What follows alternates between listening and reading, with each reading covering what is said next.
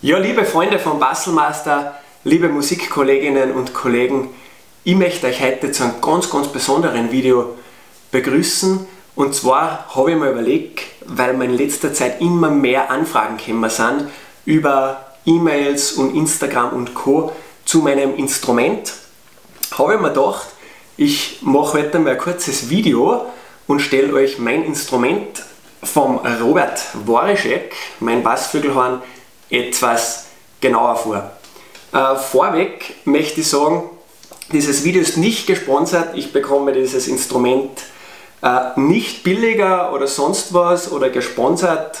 Äh, es sollte auch keine Werbung sein, aber einfach, ich möchte euch in diesem Video ähm, ein paar Aspekte, ein paar Dinge zu meinem Instrument sagen, äh, wieso ich das finde, dass das wirklich ein tolles Instrument ist und für meine Bedürfnisse äh, wirklich sehr, sehr gut gelungen. Ja, äh, das Instrument, wie gesagt, ist vom Robert Warischek. Der Robert Warischek ist aus Deutschland, genauer gesagt aus Sachsenkamm. Ist wirklich ein ganz liebenswerter Mensch und macht wirklich sehr, sehr tolle Instrumente gemeinsam mit seinem Team. Ja, jetzt ein bisschen zu meiner Basstrompete zu meinem Bassvögelhorn. Ähm, also grundsätzlich ist das Instrument wirklich ganz, ganz sauber verarbeitet. Äh, ich spiele das Instrument in einer unlackierten Ausführung. Das hat für mich einfach den Vorteil, dass wenn es einmal irgendwo runterfällt oder irgendwo ankommt oder sonst was passiert, dass einfach der Schaden nicht zu groß ist und man einen Macker oder irgendeine Lötstelle einfach wieder schnell beheben kann. Ja, das Instrument ist aus dem Material Goldmessing, äh, äh, ist aus einem 0,50er Blech wirklich sehr, sehr robust gebaut. Ja.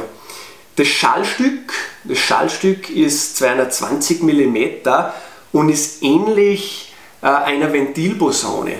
Das hat für mich auch den Vorteil, dass ich von der Tonkultur sehr vielseitig spielen kann. Das heißt, ich kann auf der einen Seite spielen wie eine Ventilposaune, kann aber auch vom Sound her in Richtung schlanker gehen, in Richtung Bassflügelhorn zum Melodiespielen, kann aber auch äh, das Instrument super verwenden als Tuba, als Bassfunktion und ist für mich persönlich einfach sehr, sehr vielseitig.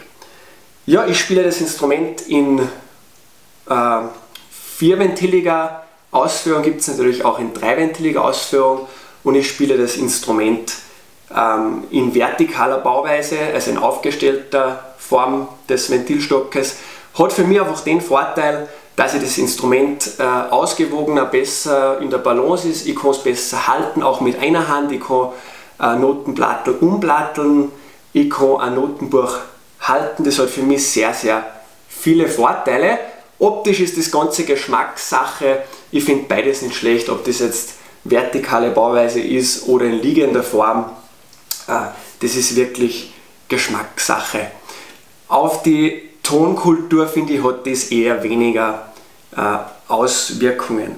Ja, äh, wie gesagt, ich spiele das Instrument in vierventiliger Ausführung, weil ich es eben sehr viel zum Basteln auch brauche.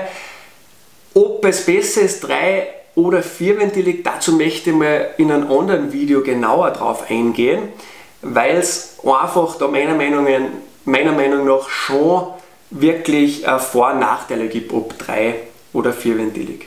Ja. Äh, ja, weiter spiele dann das Instrument ähm, vom Mundrohr her, also ich spiele das mit einem Posaunenmundstück und spiele dann einen kleinen Schaft, also ein, ja, vom Mundrohr her für mich super Instrument auch.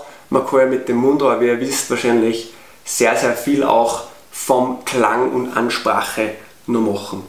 Ja, dann weiter äh, zu den Ventilen.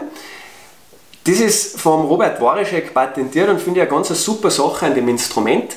Man kann nämlich den Ventilstock, äh, das sind da Schrauben und auf der Rückseite auch Schrauben, kann man den ganzen Ventilstock zlegen und kann das Ventil selbstständig ausbauen und das erleichtert die Reinigung natürlich extrem.